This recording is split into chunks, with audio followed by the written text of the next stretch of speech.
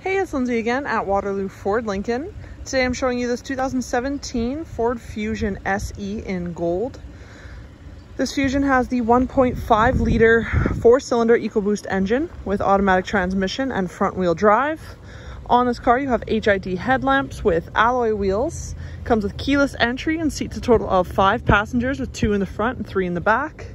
Around the back end, you do have a reverse camera as well as reverse sensors. Also have rear defrost and a power release trunk.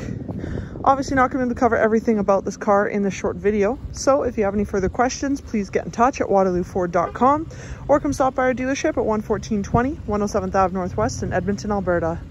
In the meantime, to stay up to date, make sure you like us on Facebook, follow us on Instagram and Twitter, and subscribe to our YouTube channel. Now let's take a look inside. So sitting inside the Fusion here, going to do a quick run through of some of the features as well as go over the interior layout. Starting on the door panel, you have your door latch here with your power locks. Down below, we have our power windows as well as our power mirrors, which are heated. On the steering wheel, arrows on the left-hand side will take you through your information panel, where you can see we have about 29,000 kilometers. Below that, you have your cruise control settings with your audio and hands-free on the right, and we do have paddle shifters located in behind the wheel. Just to the right of your steering wheel, you have your push start ignition. Uh, we do have Ford Sync 3 system in here, which gives you your AM, FM radio, as well as satellite radio. Also have a CD player with USB and Bluetooth connectivity.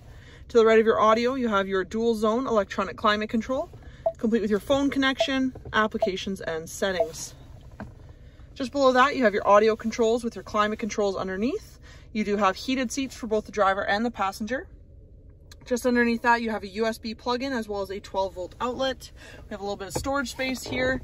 Uh, we have our rotary shift, which of course will pull up the reverse camera when you shift into reverse. Uh, you have your parking brake as well as your auto start stop feature. We have two cup holders to the right and your center console with another USB and 12 volt outlet. As for the rest of this car, we have black cloth throughout. Uh, you do have a 60-40 split in that back bench for access to the trunk when you need it. Also have a pop-down armrest for your rear passengers.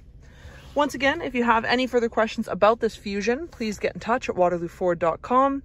My name is Lindsay, and thank you for watching.